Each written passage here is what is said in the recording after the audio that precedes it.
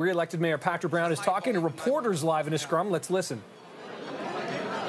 Mayor, back up live on CP24. Congratulations on your victory. How are you feeling? I feel great. Uh, um, a big mandate, and uh, it allows us to go back to City Hall um, and work confidently that we have uh, the support of the vast majority of the city. You know, last time when I won, it was a very small margin, only one councillor supporter around the table, and I'm coming back here tonight with a large majority around the table and a, a massive majority uh, of uh, support from the city. Need more friends on council as well. It's been a dysfunctional council, essentially five on five since February. How do you bridge that gap moving forward to make sure that the people of Brampton actually do get work done from their elected officials? So now we have a clear majority around the council table. We're not going to have that type of dysfunction. I don't regret some of the decisions that, that, that I took. Um, I took on an old guard that had controlled Brampton for a very long time. I brought in an anti-nepotism policy that was very controversial, said you couldn't hire family members. I insisted that every contract had to be tendered. Um, um, because competition is the best thing for taxpayers. So I know when you bring change to a city, it can ruffle feathers, but that's the type of transparency and accountability that I expect, um, and I'm going to continue to ensure. We did over 100 town halls in the last four years, 100.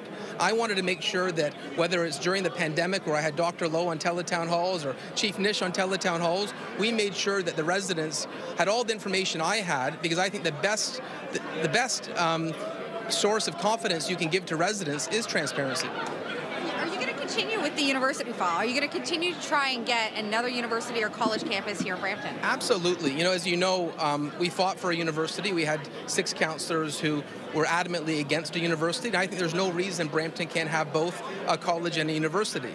Of course, it's well known the the existing college opposed the university concept, but I believe young people in Brampton deserve the same opportunities as a young person in Waterloo, Sudbury, Kingston, Guelph, just to name a few much smaller cities that have a university. So I'm going to continue to be ambitious, fighting for more for Brampton.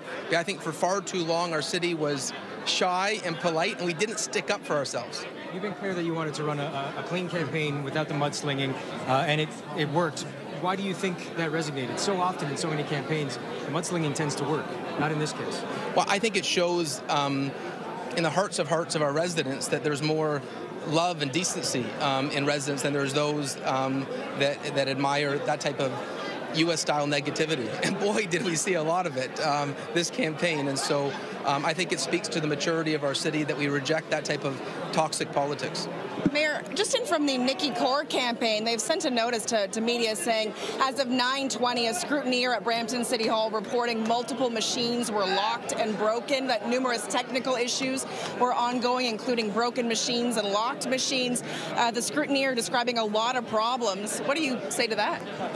Um, I think the, I think the campaign just got blown out of the water, and they're they're probably looking for some talking points. Um, you know, our city clerk is a man of um, integrity, and uh, um, I'm sure he um, ran a, a, very fair uh, election. Um, and so, uh, you know, I would just say for those that misled on polls, those that tried attack ads, I think now is the time to um, acknowledge it didn't work rather than make excuses. Um, you know, we had people paid political um, operatives who aren't from Brampton that came in from far away um, to run a negative campaign, and they got soundly rejected. And so I guess they're a little bit embarrassed right now because they put out polls that were false.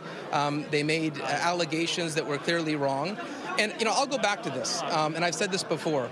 You know, the reason I fired Nick Kouvalis in 2016 when I was the PC leader was he retweeted a comment, Islam is poison. And I know he's here on a vendetta, um, eh, but I don't regret uh, dismissing him in 2016. I'll never have space, never give oxygen to hate, intolerance, um, and, and that type of ugliness. Thanks so much, Mayor. Congratulations.